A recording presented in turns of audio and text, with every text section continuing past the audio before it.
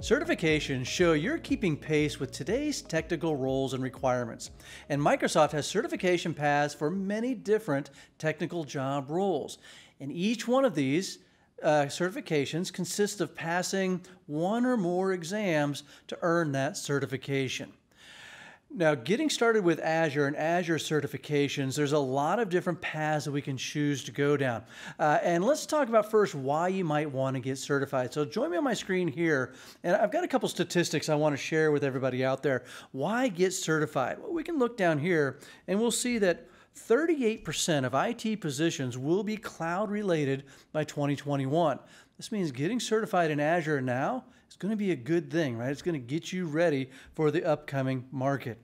35% of IT professionals say they are more influential during cloud deployments than counterparts during deployments of other technologies, right? These certifications keep you current. You understand the technologies that you're going to be using, and you can be more productive and more benefit, helpful to your team.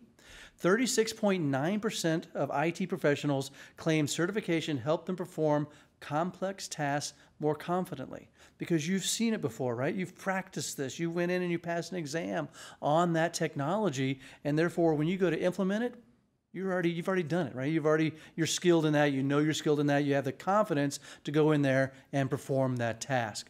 Now that's information from Microsoft, and they might be a little bit biased. Here's some from Pearson VUE. This is a, a test provider. And they did a, a, big study, and you can download this paper uh, from Microsoft. But I just want to point out a couple quick statistics here. Impacts of certification, right? Which of the following benefits did you receive from completing your certification? And that first one there, 64.9% of the respondents said that they received a positive impact on my professional image or reputation. That means by earning that certification, right, people recognized my knowledge and my skill set. And so that gives me a leg up in that environment environment where I'm working, right? 22.6% of the respondents said getting certified allowed them to move into a career in IT.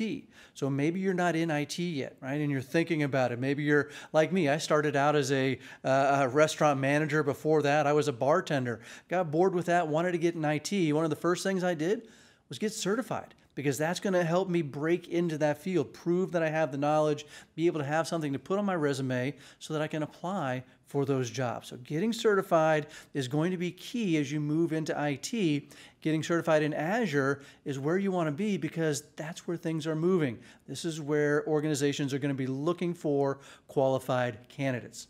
Now, when it comes to getting certified in Azure, there's a lot of different routes you can go, right? We have things, as you can see from this chart, and I'll make these links available in the show notes down below. Um, but your things like Azure Administrator Associate, SAP Workload Specialty, Data Scientist, AI Fundamentals, AI Engineer Associate, right? Really a broad spectrum of where you can end up in Azure but most of those are not going to be starting points, right? You've got to start somewhere. Uh, and there's really two exams that I want to focus on uh, and talk about that, that will really uh, have an impact on you getting started with Azure. So let's jump over here to Microsoft's webpage. This is docs.microsoft.com. Again, I'll put the link in the notes down below, but you can do a quick web search for Microsoft certifications and you can find this page really easy and it allows you to filter your results. And if you look over here, I've selected Azure, right, for my product. And then I've also scrolled down and chose certification. If I uncheck that, you'll see there's certification and exams. Go ahead and select certification. That's going to limit this to just the different certifications.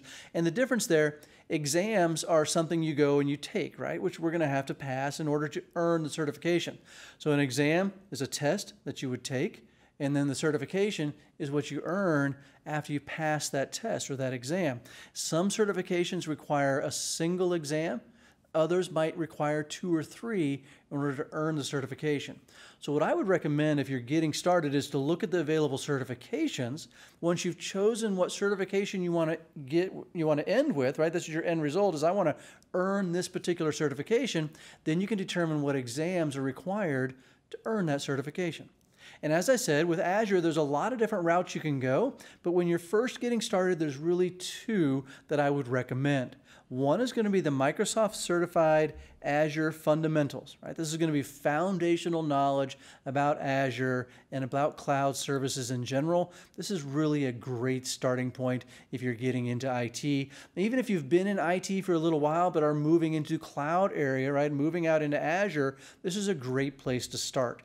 If you have some familiarity with cloud and with Azure, you might choose to skip the AZ900, that fundamentals, and you might move right into the Azure Administrator Associate. This is going to be that next level up from the foundational. This will have some uh, um, prerequisites, if you want to say, or they are going to assume that you already know all of that information that you would get by studying and preparing for the AZ900. All right, so be be careful with that one, right? Don't just jump into that one unless you have some familiarity with cloud and with Azure. But either route you go, what you're going to want to do in order to take one of these exams or in order to earn one of these certifications is you're going to need to take a look at what exams are required to get that certification, what the prerequisites are, if any, and what skills are going to be tested on that certification. So we're going to use the Azure fundamentals as, as our example, but it's going to work the same for any one of these. So I'm going to go and click on Azure fundamentals. You'll see that brings me to a screen here where it talks about the certification that I will earn. This is the Microsoft Certified Azure Fundamentals, and it tells me a little bit about how it's an opportunity to prove knowledge of cloud concepts, Azure services, and it goes on and on, right? And it tells me that there's not really any prerequisites. Right down here at the bottom, right? If I can get my box to work. Azure Fundamentals can be used to prepare for other Azure role-based certifications, uh, specialty certifications, but is not a prerequisite for any of them. So it's telling me that I don't have to take this, right, in order to take some of those other ones. This doesn't, it's not something that I'm going to build upon, all right? Now, what skills are required? What if, let's say we want to go this route. I want to take that AZ900. I want to be able to prove and validate my skills, my cloud skills, my Azure skills. All right. Well, if I scroll down, I will see what exams are required. And for this particular certification, it's one. You see on the left there, you've got that Microsoft Azure Fundamentals. Take one exam, and that will earn the certification Microsoft Certified Azure Fundamentals. All right? And then down below that, I can see what skills are measured. And it gives me this high level outline of what's going to be on this exam. Describe cloud concepts, describe core Azure services, and the list goes on. I won't read all of them to you again. You'll be able to find this on your own with our links down below. Um, and then right below that is this download certification skills outline. Because what they're showing me here is a really high level breakdown. Basically, we can call these domains of what that test is going to be broken down into. So I'm going to choose this download certification skills outline this is what you're going to want to do, right? As you're preparing for any one of these Azure certifications or getting ready to take one of these exams, you want to print this out. Well, this is the way I do it anyway, and it's what I would recommend to you is get this printed out. Now, they update these, uh, these exams and the objectives quite often, right? As new technologies come out, as they make changes, they're going to need to change the exams as well. So make sure you go and get the latest version of this. You'll see up there in red, It'll talk about how as they make changes, they'll highlight those changes in red. So if you've been preparing for a few months and you go and you get the new copy of it and you realize, whoa, they've changed it, you can see exactly what they've changed by quickly scrolling through here and looking for the red. And also notice it breaks it down a little more details. Now I can see, okay, 20 to 25% is based on cloud concepts. Right? If I go down below there, another 10 to 15% on management tools. And then each one of these sections is broken down even further as to what I'm going to need to be able to do. Right? So what I would recommend is that you print this out and use it as a checklist, right? Take a look at each one of these objectives and then check them off as you feel like you've covered them and that you're prepared and you have that knowledge. And by the end of it, when you've got them all checked off, now you can feel pretty confident that you're ready to go take that exam. So take advantage of that. Oops, let me zoom back out for you. Um, go out to Microsoft's site, download those latest objectives, and use that as a roadmap. Now, where do you find information? Like, I don't know anything about the benefits and usage of Internet of Things. Well, there's a few ways you can go about learning that particular topic, right? You can find books on this. Maybe go to Microsoft Press. You can go to docs.microsoft.com. Heck, you can even come here to itpro.tv where we've got courses on Azure fundamentals. And we walk through each one of these objectives to help you prepare for that exam. Same thing with the AZ 104. If you want to get into that Azure Administrator Associate role, then we have courses that'll help you prepare for that exam. Now, once you've printed this out and you've chosen your route of study, you've checked all these off, you feel like you're ready to take the exam, the last step is to go schedule the exam and take that exam. So I'm going to jump back to Microsoft page here because when you're ready to schedule the exam, I'm actually going to click on the exam itself and then I'm going to scroll down now you notice I've got a couple options here when it comes to scheduling the exam. In the top right hand corner, you'll see the price for the exam, and you can see mine is listed at $99 US, and that's because I'm taking the exam here in the United States, or I would be scheduling it here in the States.